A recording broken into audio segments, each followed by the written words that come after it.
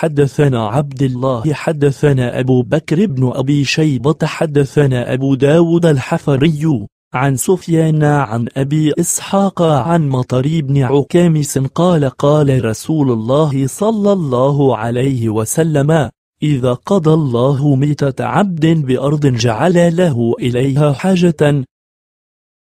حدثنا عبد الله حدثنا محمد بن جعفر الوركاني حدثنا حديج أبو سليمان عن أبي إسحاق عن مطر بن عكامس قال قال رسول الله صلى الله عليه وسلم لا يقدر لأحد يموت بأرض إلا حببت إليه وجعل له إليها حاجة